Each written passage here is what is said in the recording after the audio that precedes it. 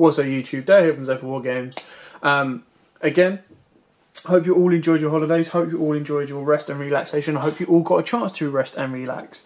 Um, so without further ado, I do have a Hero Toad deck profile to bring you. Now, um, I run this at my locals. Uh, I went 4-1. Uh, I have used it quite a few times. I have really, really enjoyed playing it. It's, it's, it's the deck that nowadays people go, you scummy... Um, because obviously this deck can end a board like the wor- the best possible end board can be two t- uh, shark, two toads, and a dark claw. That is disgusting. That is probably one of the strongest first turn boards in Yu-Gi-Oh existence, apart from top deck and all five pieces of Exodia. Um, so without further ado, I'm going to crack straight into this deck um, and get on with it. So we're zoom in so you guys can see. Now, monster is very very straightforward. Triple Shadow Mist, very, very simple. Um, he is when he's special summoned, he gets you. He searches out your quick play spell, so your Mask Change. Uh, when he's sent to the graveyard, detached, destroyed, whatever. When he hits that graveyard, he searches out your Bubble Man. Now you play triple Bubble Man. Oh, I will mention the only thing with Shadow Mist is you can only use one one effect each turn. So basically, you'd special summon him, get your uh, get your Mask Change. Unless you absolutely have to, you set that Mask Change, activate it, and turn him into Dark Claw next turn. Uh, now, Bombman, he is your way into Shark. You can special summon this guy as many times as possible, as long as you have an empty hand. So the idea is you would, you know, if you absolutely have to, you have to normal summon a Bubble Man, special summon a Bubble Man from hand. Straight away, you've got a Shark on board. Uh, next up is Triple Tin Goldfish. Now this helps special summon your Dark Claw, um, special summon your Shadow Mist, and special summon your Bubble Man from hand. If you're if you've opened up with two Bubble Men, you normal Tin Goldfish, special summon the second Bubble uh, first Bubble Man from hand, and then special summon the second Bubble Man from hand. You've got three level fours on board.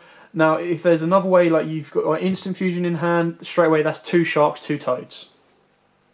Uh, next up is Double Summoner Monk. You play such a heavy spell lineup, and sometimes they do go dead uh, um, towards a later game that Summoner Monk has enough fodder to get rid of. Now, obviously, he can also help first turn. He can bring this guy out, um, use his effect to dump a card, bring out Shadow Mist, um, and then you can. Uh, Shadow Mist will then get his effect to search. If you then have the ability to special summon a Bubble Man from hand, or use a, um, or use a instant fusion, you can then have a Rafflesia Dark Lord on board. You can have pretty much anything. This deck can pretty much bring out really, really strong boards, and we all know how painful it is when a Dark Lord hits the uh, hits the board. So that's it for your monsters. Next up, you've got Triple Hero Lives. This helps special summon out your um, your Shadow Mist.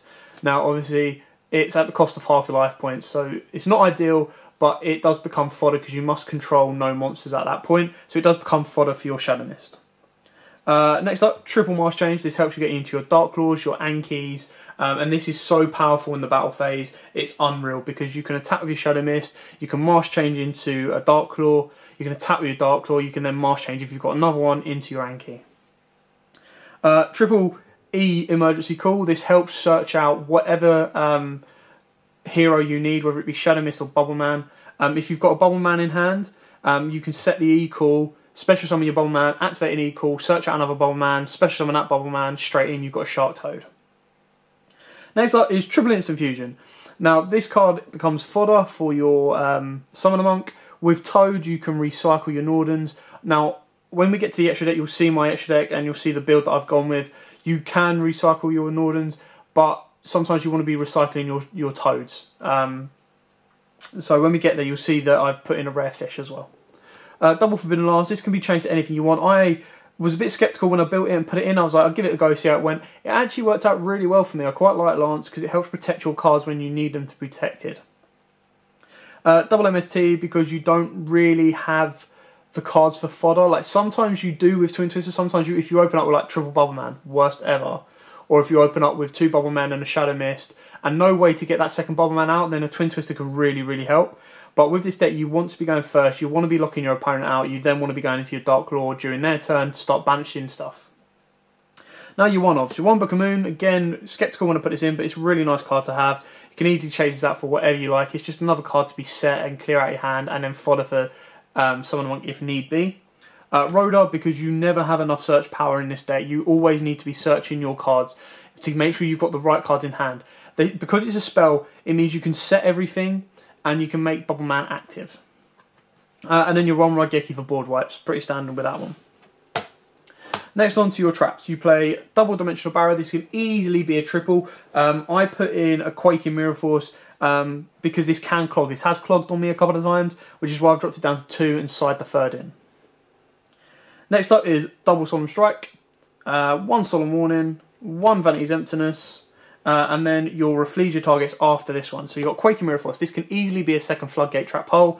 Um, I just thought that with my Rafflesia targets being a floodgate trap hole, a time space trap hole, and a bottomless trap hole, I've got that's pretty much the targets you want. Like Rafflesia only really becomes annoying if you open up two of these or draw into two of these.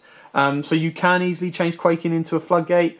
Um, I just like to give my opponent a bit more to worry about. So that is it for the traps. Now on to the extra deck. Now I play double Dark Claw, pretty standard on that one.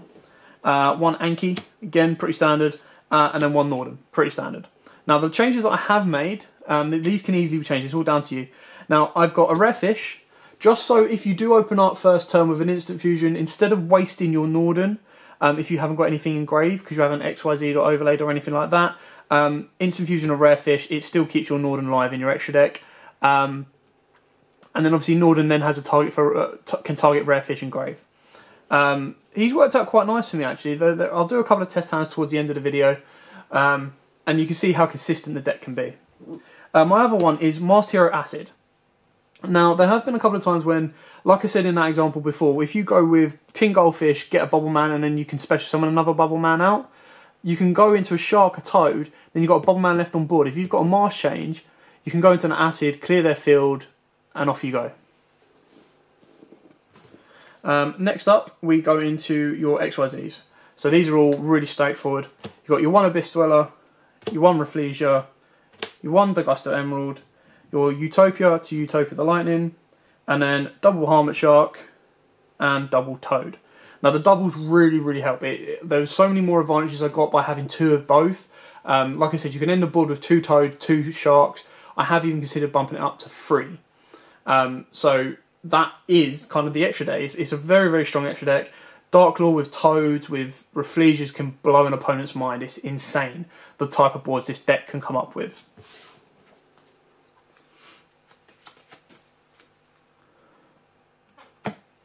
So that is it for the Hero uh, Toad deck build. Um, I will do another video. I'll do a combo video or I'll do a like test hand video so you guys can see how consistent the deck is to give you guys a bit more of an idea about the deck. Um, so thanks for watching. Don't forget to like, comment, subscribe, share, just so you don't miss out on anything. 2017 is going to be a massive year for us. It's going to be a massive year for Yu-Gi-Oh! So keep tuned. Um, don't forget to hit, hit, that massive subscribe button um, and support us all the way, guys, because we're going to have some really, really good things coming up in 2017. So as always, guys, thanks for watching and happy dueling.